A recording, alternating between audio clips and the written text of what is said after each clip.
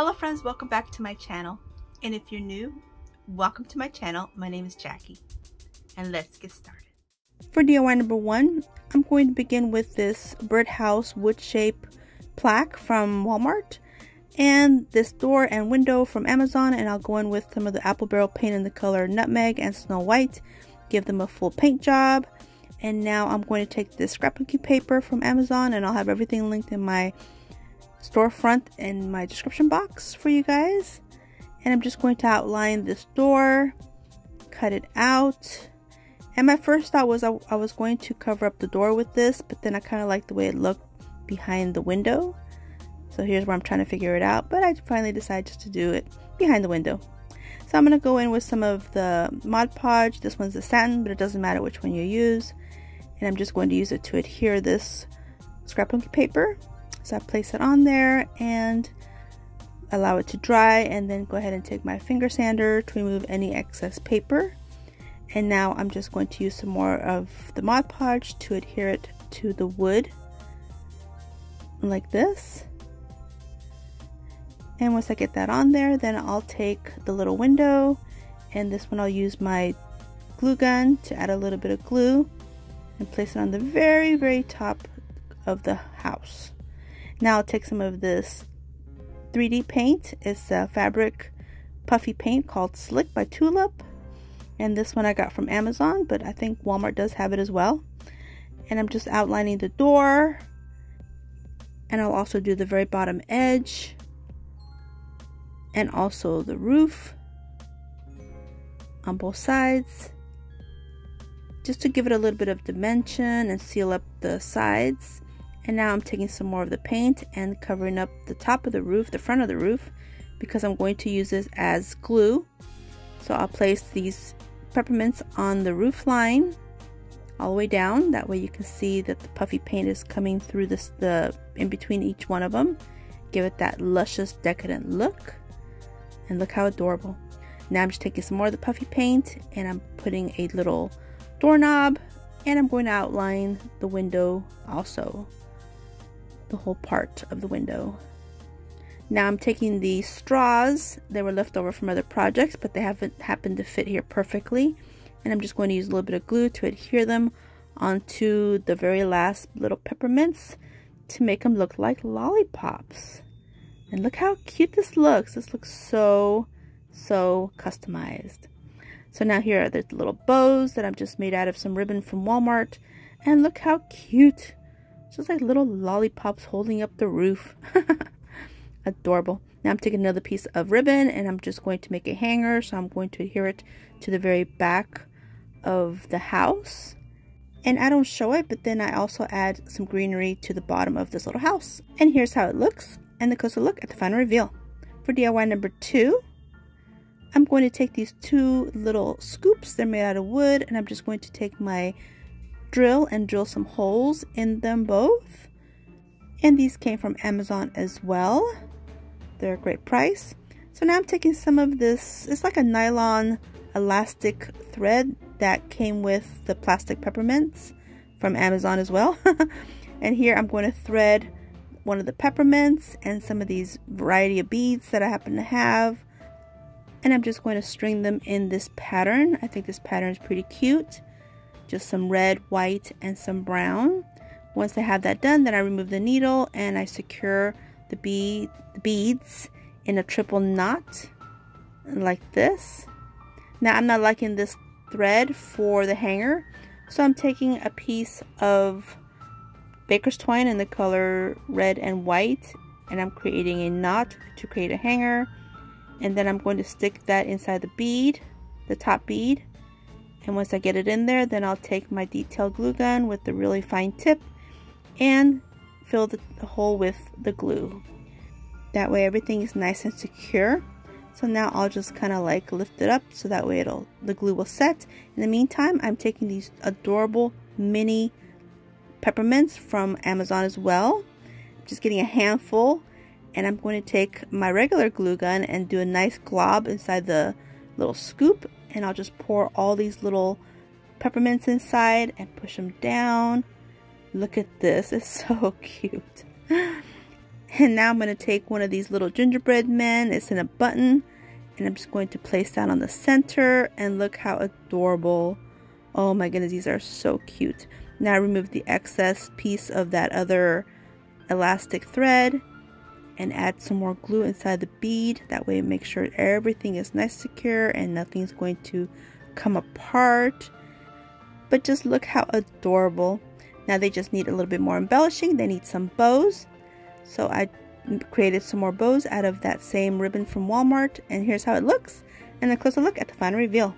This video is a part of It's Christmas in July, Let's Get Baked.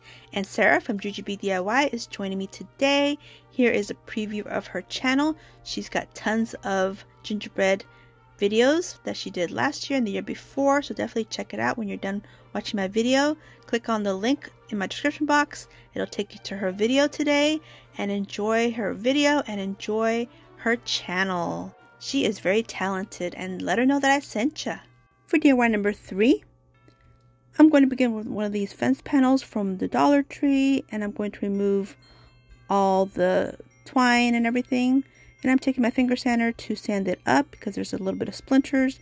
And I'm going to go in with this Home Decor chalk paint in the color White Adirondack. Give it a full coat.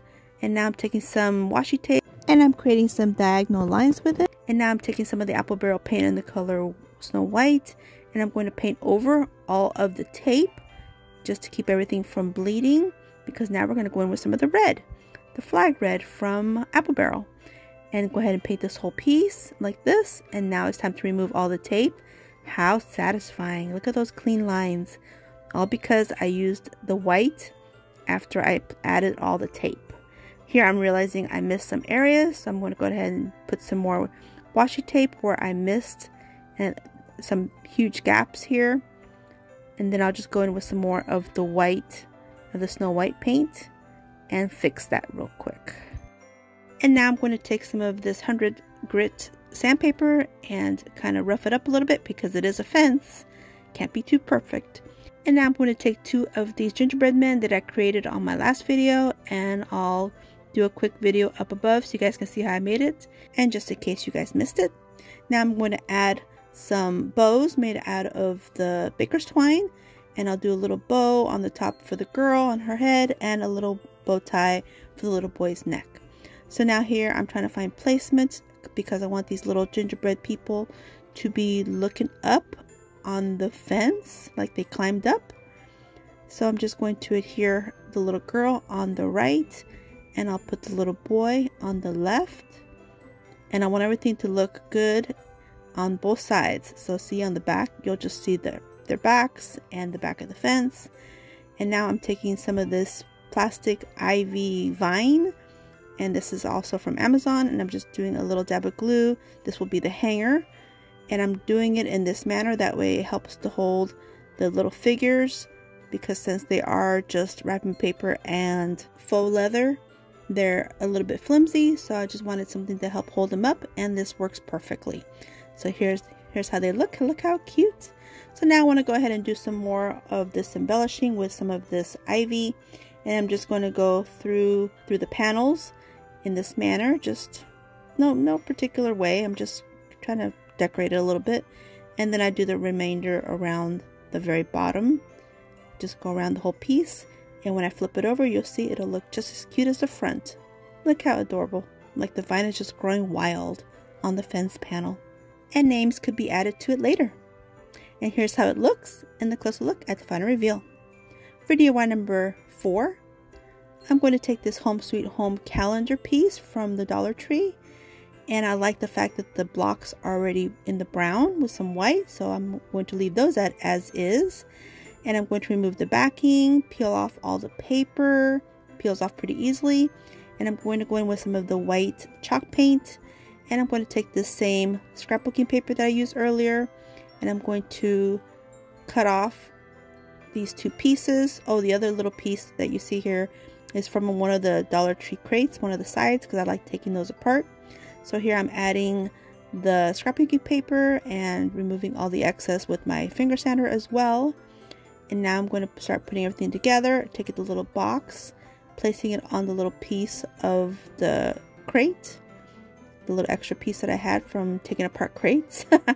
yeah, I do that. and I'll put a picture up here of something I made with taking apart crates. So now I'm just going to adhere this back piece back on to the little the little box, the little rectangle like this. And since this is going to be an ornament, we have to do a hanger, of course. So I'm just taking this nice chunky piece of ribbon that I just happen to have left over and secure it with some hot glue.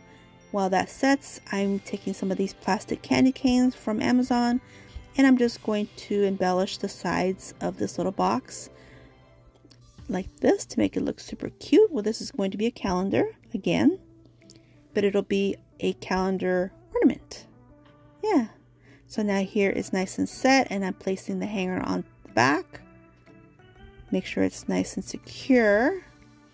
And now I'm putting all the little blocks back in, putting it for July 15th, which is today. And now I'm taking some more of these cute little gingerbread people that I made. And I'm going to adhere them together like they're holding hands. And I'll secure these to the back of this calendar backing. Like this. Look how adorable. And the kiddos would have fun changing up the dates. And here's how it looks. And the closer look at the final reveal. For DIY number five, I'm going to take these wooden candy canes. These came from Amazon.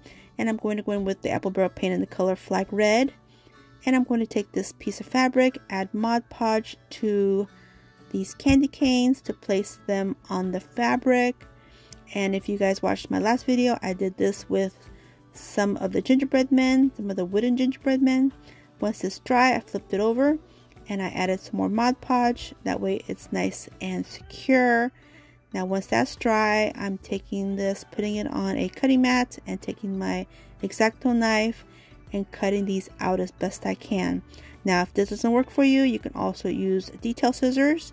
That works just as well. So they're, here they're all nice and cut out. So now I'm going to take some of my baker's twine, creating a nice little loop for a hanger. And I'm just going to adhere it with a little bit of glue press it down, hold it down till it sets. And now I'll place another candy cane right on top. So they're back to back and that way they are a full ornament on both sides. And just in case they get flipped around, yeah, they'll look cute. So now I'm going to go in with some more of these tiny little buttons, these little gingerbread buttons, and I do add a little bit of greenery to the sides of the gingerbread men. And here's how they look, and a closer look at the final reveal. For DIY number six, I am taking one of these truck plaques made out of wood from the Dollar Tree. And I'm going to go in with the apple barrel paint in the color nutmeg brown of course on both sides. And I'll go in with some of this apple barrel paint in the color flag red and do the fenders and a couple other accents until it looks like this and now I'm taking a ballpoint pen and just creating a tire form that's a little bit more proportioned on both sides because these tires were a little bit odd shaped. and I'll show you here, you guys can see. Now I'm going to go in with that same puffy paint and I'm just going to outline the wheels, the tires, actually the whole truck. I don't show it all, but yeah, I'm going to do the whole, the whole truck. And here's the wheel, everything. And I'm just placing a nice glob of this paint and using it for my peppermint wheels. Now that I have everything nice and painted, I had five more of these little gingerbread men, and guess what? I have five grandkids. So these are going to represent my grandkids. This little one is my three year old, and then I have two four year olds. They go right beside him, like this. And then I'll do the five year old right behind or between the three year old and one of the four year olds. I'll place him back here.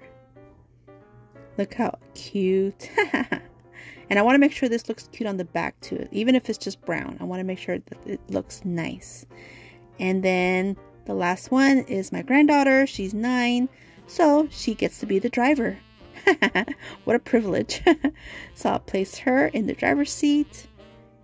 And now I'm going to embellish them with some of the baker's twine bows and so I'll add a nice big one for my granddaughter on her head and some little bow ties for all the boys. Look how cute.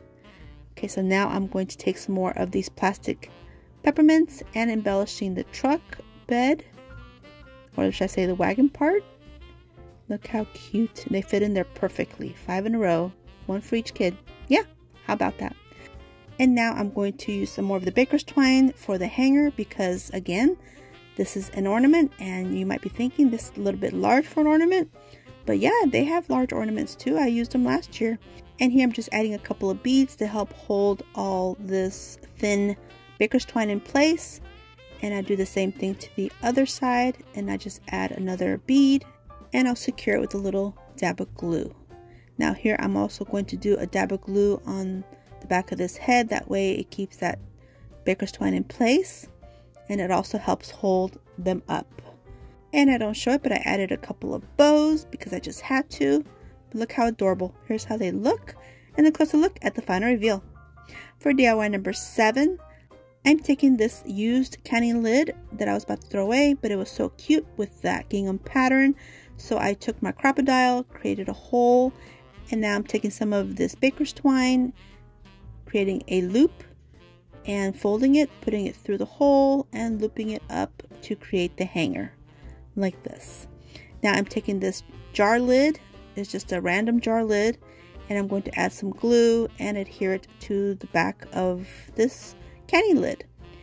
So now I'm going to take two more of these little gingerbread men buttons and I'm going to adhere them to the front of this candy lid I just think the gingham pattern with gingerbread is so adorable. So cute. So now I'm going to take my puffy paint again and I'm going to go to town and give this a nice full coating and go all the way around and the back as well. And now the back, since it's brown, I'm going to create a little gingerbread head. So I went ahead and did the swirlies around the piece of that lid and now with my Sharpie paint marker, I'm just creating a little face. And I'm going to use the Apple Barrel white paint and some of the puffy paint as well. And finish his little face.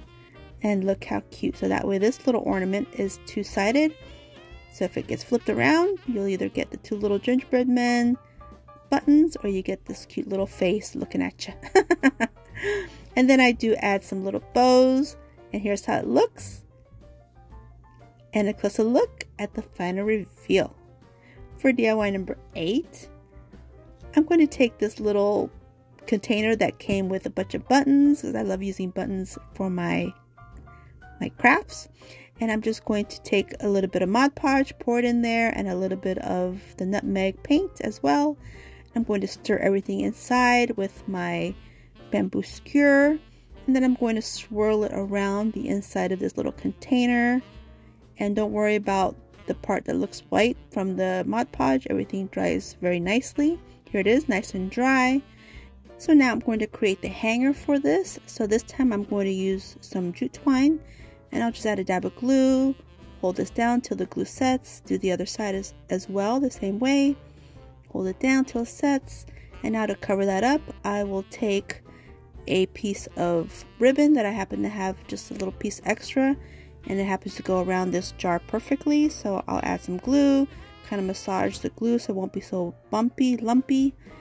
And now I'll go to the back and adhere the other side like this until everything is looking nice and cute and complete.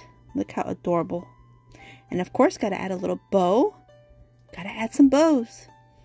Place that on the front add a clip to help hold it. In the meantime, I picked up these cute little plastic utensils from the Dollar Tree in the toy section. And here's a little pack of the little gingerbread buttons that I've been using throughout this video. And I'm just going to add one to the little spoon and one to the little spatula. And then just placing these inside. Removing my clip and look how cute. That is it. So super simple, so super cute. Adorable. And here's how it looks. And a closer look at the final reveal. For DIY number 9, I'm going to take this pack of wood stems from the Dollar Tree and I'm going to pick out a few that I like. I'm trying to do a graduated cake, kind of like a tiered cake. So here are the pieces that I chose.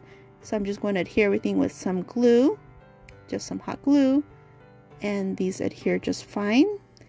And now I'm going to take some random pieces of ribbon that I just happen to have lying around, just little pieces and some rickrack.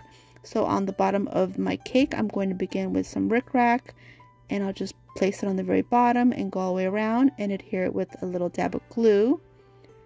And then I'll continue this with the red rickrack on the next tier, on the bottom of the next tier. Just add a dab of glue, go all the way around and adhere it. And then the next tier will have that thin gingham ribbon that I've been using. And then the last tier will just have a little bit of the baker's twine and I'll just wrap it around a few times just to make it look a little bit more substantial. And that is it. I just secure that end with a little bit of glue. And now I'm realizing there's a bunch of those glue webs everywhere. so I'm going to take my heat gun and heat it all up and that removes all those glue webs very nicely. Now I'm just going to add this cute little gingham bow and place it on the top of my little cake. And now for the hanger, I'm going to use one of these little screw-on little hanger pieces and they screw on very nicely and they are secure. Look at that. Super cute. Here's how it looks. And a closer look at the final reveal. For DIY number 10, I'm going to use these Dr. Seuss erasers and they are in the shape of books. And I'm going to go in with some of the Apple Barrel painted color Nutmeg Brown, give them a full coat on their covers. And then I'm just going to adhere them and stack them together. These will be a stacked book ornament. Super cute. And I'm just taking a Cricut marker and I'm just writing how to bake gingerbread in my own messy handwriting. Because I noticed that Cricut, some of the Cricut fonts look just like my messy handwriting. So this is so small. Why not just write it on there? Save myself a step. So now I'm taking some more of this gingham ribbon, this really thin ribbon from Walmart. And I'm just going to wrap it around my book stack like this. Super cute. And then I'll create a bow with the same ribbon. And I'll make sure the tails are nice and long because I want the tails to come hanging down just a little bit past the book stack. So then I'll go ahead and adhere it with a little dab of glue. And I'll also tack the tails down a little bit. That way they're not just flapping around. And you'll see on the bottom how they hang, they'll hang just a little bit further past the books. How adorable. And then for the hanger, I'll use another one of these little hooks, these little screw-on hooks and I'll have everything in my description box for you guys and you just twist it on there and this is easier than those wood stems because this is just an eraser so this goes in really easily and that is it look super cute and here's how it looks and the closer look at the final reveal now I have a bonus DIY I have this banana holder that I actually picked up from a thrift store a couple years ago actually and I went in with the same nutmeg brown paint and some of the puffy paint as well to give it that icing look. And this will be an ornament holder for some of my ornaments. And here's how it looks and the closer look at the final reveal. If you're on Instagram, here's my QR code. I would love for you to follow me there, as well as TikTok. And I have a Pinterest. And here are some of my pins. And I also have a Facebook crafting group, and I would invite you to come join me there. And now we're at the final reveal. Let me know what you guys think.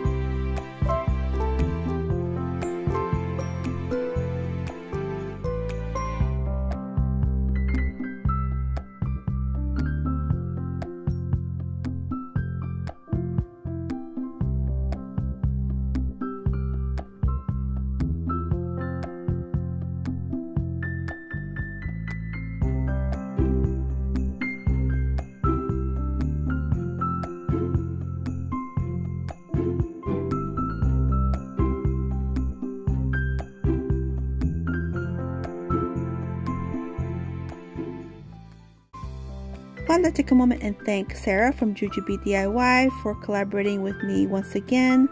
We both enjoyed doing the gingerbread theme and I can't wait to watch your video.